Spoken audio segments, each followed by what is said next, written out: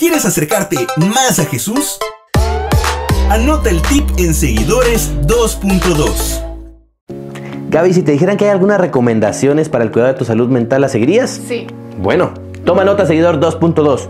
Cuídate y previene, también ofrece ayuda a otras personas, esto te va a ayudar. Minimiza el tiempo que dedicas a mirar, leer o escuchar noticias que te causen ansiedad o angustia, más en la noche. Realiza actividades durante el día, es importante mantenerte activo. Organiza tus rutinas diarias, tampoco que sea tan robótico. Mantén una alimentación y una rutina de sueño adecuada en horarios establecidos. Comer bien y dormir bien. Y por último, conéctate de manera remota con tus familiares y amigos y comunidades cuando la distancia quizá te lo limita. Estas son algunas de las recomendaciones que tú puedes adoptar para poder tener salud mental. Aplícalas y coméntanos cómo te va. Y si te gustó este tip, a compartir. Sí, yo sé que soy rencoroso y por eso este mes voy a ver la serie, pero como no ha terminado la serie no puedo dejar de ser rencoroso.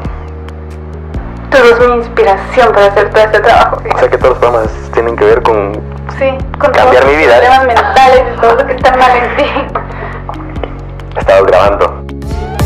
Anota el tip en Seguidores 2.2.